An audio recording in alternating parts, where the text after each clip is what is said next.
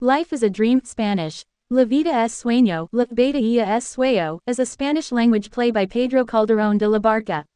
First published in 1636, in two different editions, the first in Madrid and a second one in Zaragoza.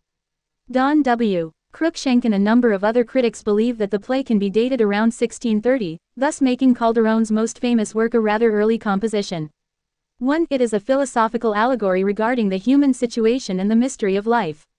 2. The play has been described as the supreme example of Spanish Golden Age drama. 3. The story focuses on the fictional Segismundo, Prince of Poland, who has been imprisoned in a tower by his father, King Basilio, following a dire prophecy that the prince would bring disaster to the country and death to the king. Basilio briefly frees Segismundo, but when the prince goes on a rampage, the king imprisons him again, persuading him that it was all a dream. Pedro Calderón de la Barca, the 17th of January 1600 to the 25th of May 1681, UK. Calderón de la Barca, US. Caldron DL, DL, Spanish.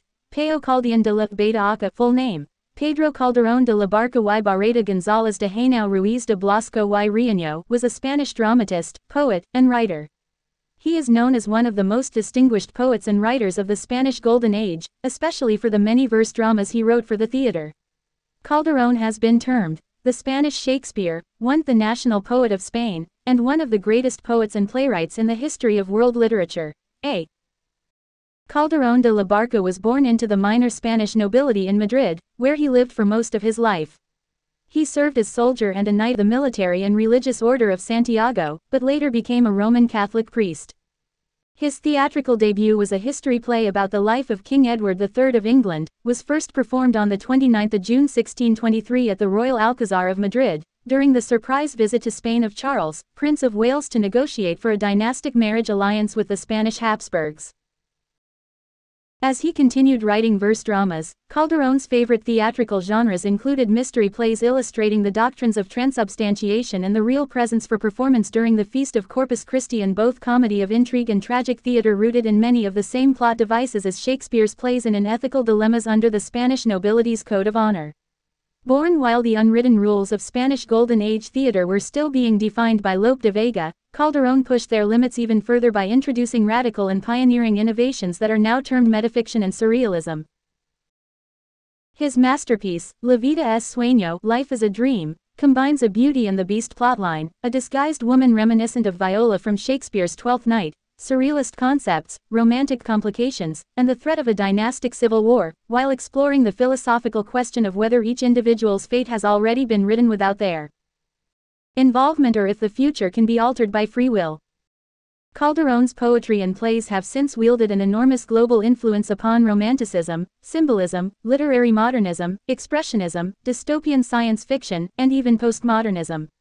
His many admirers have included August Wilhelm Schlegel, Johann Wolfgang von Goethe, John Dryden, Lord Byron, Percy Bysshe Shelley, Father Felix Sarda y Salvany, Hugo von Hofmannsthal, Vyacheslav Ivanov, Jorge Luis Borges, Konstantin Stanislavski, and Boris Pasternak. In 1881, the Royal Spanish Academy awarded a gold medal to Irish poet Denis Florence McCarthy for his highly praised and accurate literary translations of Calderón's verse dramas into English. In 2021, a renewed search for Calderón's missing remains gained media attention worldwide. 3. The play's central themes are the conflict between free will and fate, as well as restoring one's honor. It remains one of Calderón's best known and most studied works, and was listed as one of the 40 greatest plays of all time in The Independent. Four other themes include dreams versus reality and the conflict between father and son. The play has been adapted for other stage works, in film and as a novel. Catholic Spain was the most powerful European nation by the 16th century. 5. The Spanish Armada was defeated by England in 1588. However, while Spain was trying to defend the northern coast of Africa from the expansion of the Turkish Ottoman Empire, 6. And the gold and silver that Spain took from its possessions in the New World were not adequate to sustain its subsequent decades of heavy military expenses. Spain's power was rapidly waning by the time Calderón wrote Life as a Dream. 7. 8. The age of Calderón was also marked by deep religious conviction in Spain. 9. The Catholic Church had fostered Spanish pride and identity, to the extent that, speaking Christian, became, and remains, synonymous with speaking Spanish. 10. Another current that permeated Spanish thinking was the departure from the idea that royal power resided in God's will, as noted in Machiavelli's The Prince 1532. Francisco Suarez's treatise on the defense of faith De Defensio Fidei, 1613 stated that political power resided in the people and rejected the divine rights of kings. 11 and Juan Mariana's on king and kingship 1599 went even further by stating that the people had the right to murder despotic kings. 12 page needed. Amidst these developments during the 16th and 17th centuries, Spain experienced a cultural blossoming referred to as the Spanish Golden Age. 1314 it saw the birth of notable works of art, Don Quixote, by Miguel de Cervantes 1605 played with the vague line between reality and perception. 15 Lope de Vega, in his play Fuente Fuenteovejuna 1619 talks about a village that rebels against authority. Summary After being abandoned by their horses, Rosaura, who is dressed as a man, and Clarin walk through the mountains of Poland without food or anywhere to go for the night. They arrive at a tower, where they find Segismundo imprisoned, bound in chains. He tells them that his only crime was being born. Clotaldo, Segismundo's old warden and tutor, arrives and orders his guards to disarm and kill the intruders, but he recognizes Rosaura's sword as his own that he had left behind in Muscovy for a favor that he owed years ago for his child to bear. Suspecting that Rosaura is his child, he thinks she is male, he takes Rosaura and Clarin with him to court. At the palace, Astolfo, Duke of Muscovy discusses with his cousin, Princess Estrella, Segismundo's cousin, that as they are the nephew and niece of King Basilio of Poland, they would be his successors if they married each other. Estrella is troubled by the locket that Astolfo wears, with another woman's portrait. Basilio reveals to them that he imprisoned his infant son, Segismundo. Due to a prophecy by an oracle that the prince would bring disgrace to Poland and would kill his father, but he wants to grant his son a chance to prove the oracle wrong. If he finds him evil and unworthy, he will send him back to his cell, making way for Astolfo and Estrella to become the new king and queen. Clotaldo enters with Rosaura, telling Basilio that the intruders know about Segismundo. He begs for the king's pardon, as he knows he should have killed them. The king says he should not worry, for his secret has already been revealed. Rosaura tells Clotaldo that she wants revenge against Astolfo, but she won't say why. Clotaldo is reluctant to reveal that he thinks he is Rosaura's father. Act 2. Edit. Clotaldo gives Segismundo a sedative that robs one in his sleep of his sense and faculties, 109 which puts him in a sleep similar to death. In the royal palace of the capital city of Warsaw, Clotaldo has learned that Rosaura is a woman, Clarin explains that Rosaura is Princess Estrella's maid but has been going by the name of Astrea. When Segismundo is awakened and arrives at court, Clotaldo tells him that he is the Prince of Poland and heir to the throne. He resents Clotaldo for keeping this secret from him for all those years. He finds Duke Astolfo irritating and is dazzled by Estrella's beauty. When a servant warns him about the princess's betrothal to Astolfo, Segismundo is enraged by the news and throws the servant from the balcony. Act 3. Edit. The people find out that they have a prince and many rebel, breaking him out of his prison tower, although at first they comically mistake Clarin for the prince. Segismundo finds Clotaldo, who is afraid of his reaction. Segismundo forgives him, asking to join his cause, but Clotaldo refuses, swearing allegiance to the king. Back in the palace, everyone prepares for battle, and Clotaldo speaks with Rosaura. She asks him to take Astolfo's life, as he had taken her honor before leaving her. Clotaldo refuses, reminding her that Duke Astolfo is now the heir to the throne. When Rosaura asks what will be of her honor, Clotaldo suggests that she spend her days in a nunnery.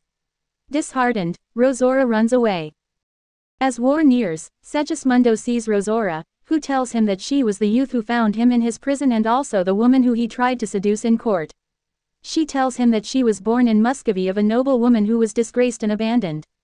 She had the same fate, falling in love with Astolfo and giving him her honor before he abandoned her to marry Estrella. She followed him to Poland for revenge, finding that Clotaldo is her father, but he is unwilling to fight for her honor. Rosaura compares herself to female warriors Athena and Diana. She wants to join Segismundo's battle and to kill Astolfo or to die. Fighting. Segismundo agrees. While soldiers cheer for Segismundo, Rosaura and Clarin are reunited, and the king's soldiers approach. Segismundo's army is winning the battle. Basilio, Clotaldo and Astolfo are preparing to escape when Clarin is killed in front of them. Segismundo arrives and Basilio faces his son, waiting for his death, but Segismundo spares his life. In light of the prince's generous attitude, the king proclaims Segismundo heir to his throne. As king, Segismundo decides that Astolfo must keep his promise to marry Rosaura to preserve her honor. At first Astolfo is hesitant because she is not of noble birth, but when Clotaldo reveals that she is his daughter, Astolfo consents. Segismundo then claims Estrella in marriage himself. Segismundo resolves to live by the motto that, God is God, acknowledging that, whether asleep or awake, one must strive for goodness. Dreams versus reality. The concept of life as a dream is an ancient one found in Hinduism and Greek philosophy, notably Heraclitus and the famous Platonic allegory of the cave, and is directly related to Descartes' dream argument. It has been explored by writers from Lope de Vega to Shakespeare. 17 key elements from the play may be derived from the Christian legend of Barlaam and Josaphat, which Lope de Vega had brought to the stage. 18 failed verification This legend is, itself, a derivation of the story of the early years of Siddhartha Gautama, which illustrates the Hindu-Buddhist concept of reality as illusion. 18. Father versus son conflict. One of the major conflicts of the play is the opposition between king and prince, which parallels with the struggle of Uranus versus Saturn or Saturn versus Jupiter in classical mythology. 19. This struggle is a typical representation of the opposition in Baroque comedy between the values represented by a fatherly figure and those embodied by the son. 18. An opposition which, in this case, may have biographical elements. 20. Honor. The theme of honor is significant to the character Rosaura. She feels she has been stripped of her honor, and her aim is to reclaim it. Rosaura feels that both she and her mother were subjected to the same fate. She pleads to Clotaldo about earning her honor back, which he denies and sends her to a nunnery. Other motifs and themes. Motifs and themes derived from a number of traditions found in this drama include the labyrinth, the monster, free will versus predestination, the four elements, original sin, pride and disillusionment. The Rosaura subplot has been subjected to much criticism in the past as not belonging to the work. Marcelino Menendez y Pelayo saw it as a strange and exotic plot, like a parasitical vine. 25 Rosaura has also been dismissed as the simple stock character of the jilted woman. With the British school of Calderonistas, this attitude changed. A. E. Sloman explained how the main and secondary actions are linked. 26 Others like E. M. Wilson and William M. Whitby consider Rosaura to be central to the work since she parallels Segismundo's actions and also serves as Segismundo's guide, leading him to a final conversion. 27-28 For some Rosaura must be studied as part of a Platonic ascent on the part of the prince. Others compare her first appearance, falling from a horse hippogriff to the plot of Ariosto's Orlando Furioso where Astolfo, the name of the character who deceives Rosaura in our play, also rides the hippogriff and witnesses a prophecy of the return of the mythical Golden Age. For Frederick de Armas, Rosaura hides a mythological mystery already utilized by Ariosto. When she goes to court, she takes on the name of Astraea, the goddess of chastity and justice. Astraea was the last of the immortals to leave Earth with the decline of the ages. Her return signals the return of a golden age. Many writers of the Renaissance and early modern periods use the figure of Astraea to praise the rulers of their times. It is possible that Rosaura, an anagram of auroras, dawns, could represent the return of a golden age during the reign of Segismundo, a figure that represents King Philip IV of Spain. 29. Segismundo's conclusions. Edit. There have been many different interpretations of the play's ending, where Segismundo condemns the rebel soldier who freed him to life imprisonment in the tower. Some have suggested that this scene is ironic that it raises questions about whether Segismundo will in fact be a just king. Others have pointed out that Calderon, who lived under the Spanish monarchy, could not have left the rebel soldier unpunished, because this would be an affront to royal authority. It is worth considering that Segismundo's transformation in the course of the play is not simply a moral awakening, but a realization of his social role as the heir to the throne, and this role requires him to act as king's act. For some, the act of punishing the rebel soldier makes him a Machiavellian prince. 30 others argue that, while this action may seem unjust, it is in keeping with his new social status as the king. Daniel L. Heiple traces a long tradition of works where treason seems to be rewarded, but the traitor or rebel is subsequently punished. 31. It may well be that, rather than intending his audience to see this action as purely right or wrong, Calderon purposefully made it ambiguous, creating an interesting tension in the play that adds to its depth. Life is a Dream, is a famous play by Spanish playwright Pedro Calderón de la Barca, written in the early 17th century. It's a classic example of Spanish Golden Age drama and explores themes of reality, illusion, and free will. The play tells the story of Segismundo, a prince who has been imprisoned in a tower since birth by his father, King Basilio, who believes that Segismundo's destiny will bring disaster to the kingdom. Segismundo is released from his prison and placed on the throne to test whether he will behave as a tyrant or a just ruler. He struggles with the notion of whether his experiences are real or just a dream. The central theme of the play is the philosophical exploration of the nature of reality and illusion, asking whether life itself is a dream and whether our choices are truly free or predetermined. Calderón weaves these themes into a complex narrative that also touches on issues of power, identity, and human nature. Here's a chapter by chapter summary of Calderón de la Barca's life as a dream. Act 1. Scene 1. The play opens with a prologue where a narrator introduces the central themes of the play, the blurred lines between reality and illusion. We learn about the prophecy that Segismundo, the son of King Basilio, will bring disaster to the kingdom. As a result, Segismundo has been imprisoned since birth. Scene 2. King Basilio decides to test the prophecy by bringing Segismundo out of his prison to see how he will behave as a ruler. Basilio disguises himself and his court to observe Segismundo's actions in the real world, hoping that the prince will act honorably. Scene 3. Segismundo, after being brought to the palace, struggles to understand his new environment and position. He is initially confused and believes that he is dreaming. He encounters various characters, including his supposed subjects, and tries to establish his authority. Scene 4. Segismundo's behavior is erratic and unpredictable. The king and his advisors are concerned that he may fulfill the prophecy and bring disaster. However, Segismundo starts to show signs of nobility and wisdom. Scene 5. Segismundo falls in love with a young woman named Rosaura, who has come to the palace disguised as a man to seek revenge against the prince. Rosaura is unaware of Segismundo's true identity, and he is unaware of her true purpose. Act 2. Scene 1. Segismundo is eventually returned to his prison after the king's experiment. He is devastated and struggles to reconcile his experiences with his previous life in the dungeon he begins to question whether his time as a prince was real or just a dream. Scene 2. Rosaura, still disguised, interacts with Segismundo and reveals her true identity. She explains her quest for revenge and how Segismundo's father wronged her family.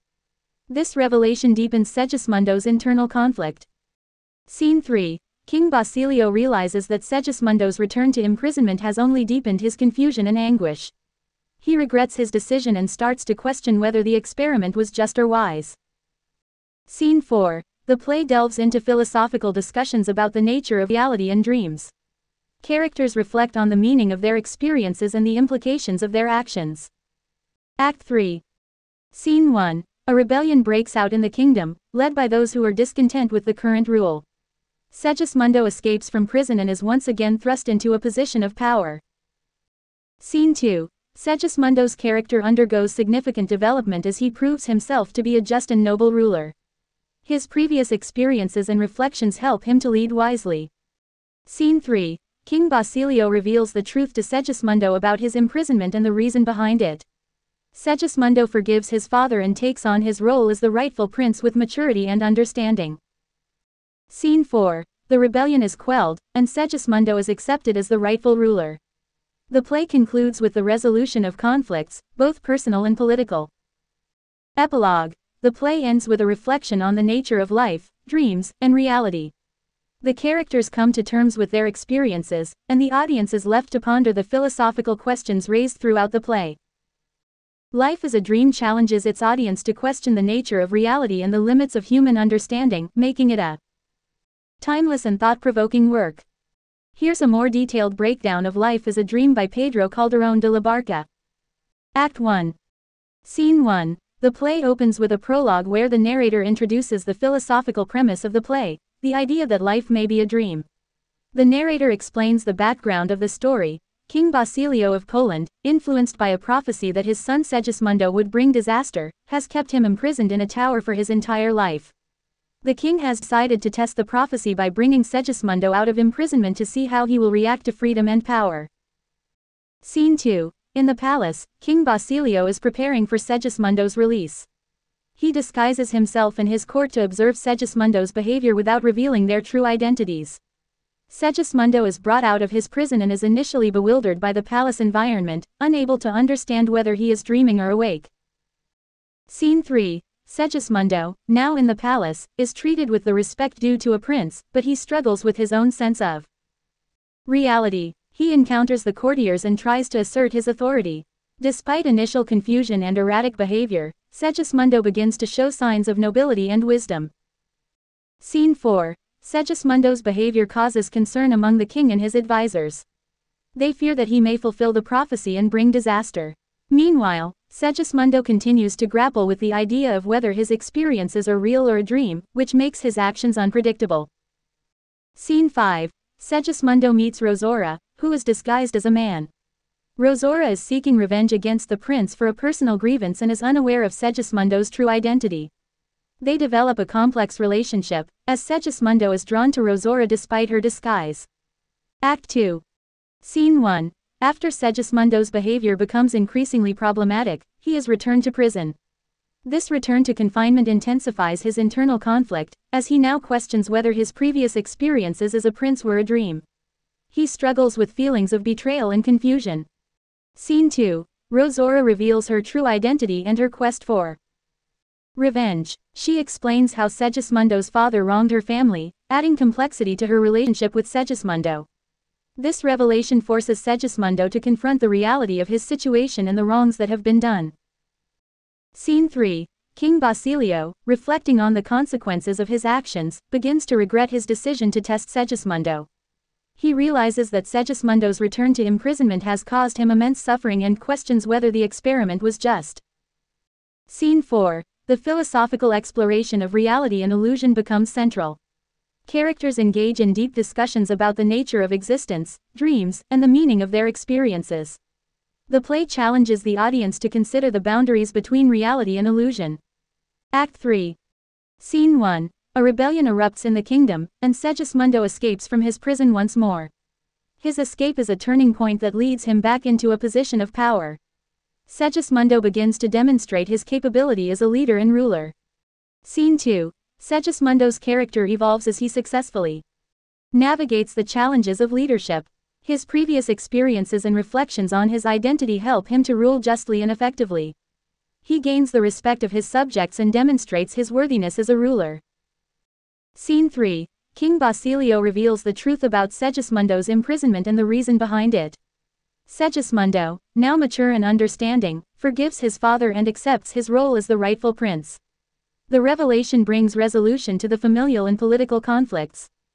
Scene 4. With the rebellion quelled and peace restored, Segismundo is established as the rightful king. The play concludes with the resolution of the various conflicts, and characters come to terms with their experiences. The final scenes reflect on philosophical themes introduced throughout the play. Epilogue The epilogue reinforces the play's central theme the question of whether life is a dream or reality. It invites the audience to reflect on the nature of existence and the boundaries between dreams and reality.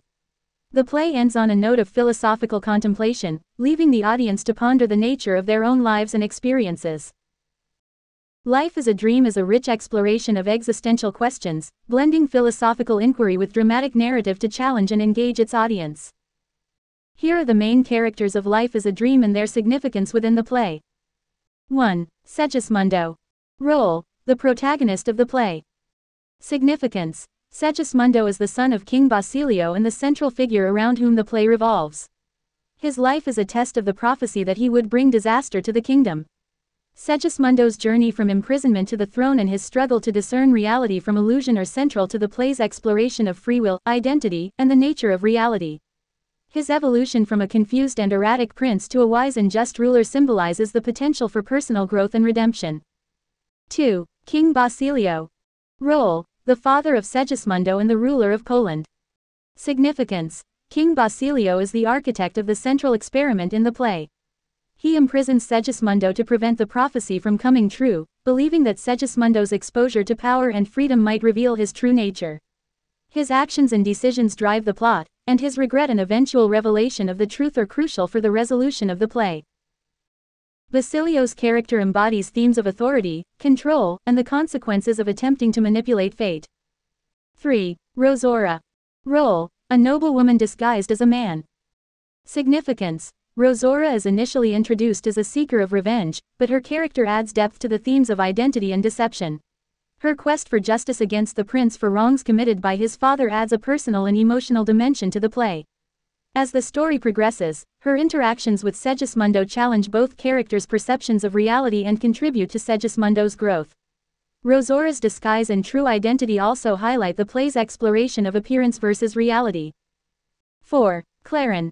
Role Rosaura's servant and comic relief character. Significance Clarin provides comic relief and serves as a foil to the more serious characters. His interactions with Rosaura and Segismundo add humor and levity to the play, while also contributing to the exploration of social roles and expectations. Clarin's presence helps to balance the philosophical and dramatic elements of the play with moments of lightheartedness. 5. Astolfo. Role The Duke of Muscovy and a suitor to Rosaura.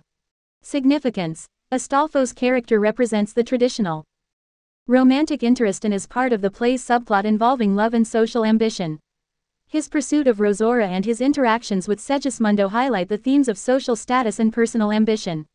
His character provides additional context for the play's exploration of personal desires and social expectations. 6. Basilio's court advisors. Role Various members of the court who interact with Segismundo and observe his behavior. Significance These characters represent the broader society and the political environment in which Segismundo must navigate. Their reactions to Segismundo's behavior and the unfolding events help to illustrate the impact of his actions on the kingdom and contribute to the play's exploration of power, authority, and legitimacy. 7. The Old Man, Solis. Role A wise old man who offers philosophical insights. Significance The old man provides a philosophical perspective on the nature of reality and dreams, reinforcing the play's central themes. His reflections contribute to the play's exploration of existential questions and the nature of human experience. These characters together weave a complex narrative that challenges perceptions of reality, authority, and personal identity, making Life as a Dream a profound and enduring work of literature. You said. Main arguments. ChatGPT said. ChatGPT. Life is a Dream is a rich and complex play that presents several main arguments and themes, often intertwining philosophical inquiries with dramatic elements. Here are the key arguments. 1. Reality versus illusion. Argument The central philosophical question of the play is whether life itself is a dream or reality. This theme is explored through Segismundo's experiences and his confusion about whether his life as a prince is real or a dream. The play suggests that the boundaries between reality and illusion are blurred and that human perception is inherently unreliable. Supporting elements Segismundo's initial disbelief and subsequent confusion about his status, the philosophical dialogues about dreams and reality, and the play's structure itself. Which creates a dream-like narrative. 2. Free will versus determinism. Argument. The play explores the tension between free will and determinism. King Basilio's attempt to control Segismundo's fate through imprisonment and his experiment questions whether individuals can truly exercise free will or if their lives are governed by predetermined destinies. Supporting elements, the prophecy about Segismundo's future, Basilio's decision to test Segismundo, and the eventual revelation that Segismundo has the capacity to choose his own path despite the constraints imposed on him. 3. Identity and transformation. Argument, the play examines the nature of identity and personal transformation. Segismundo's journey from imprisonment to the throne highlights the theme of self-discovery and the potential for change. The play suggests that identity is not fixed but can evolve based on personal growth and experience. Supporting elements Segismundo's transformation from a confused prisoner to a wise ruler, his interactions with other characters that reveal different aspects of his personality, and the resolution of his internal conflict. 4. The nature of power and authority. Argument Calderon examines the nature of power and its effects on individuals and society. The play explores how power is perceived, wielded, and challenged, and questions the legitimacy of authority that is based on manipulation and control.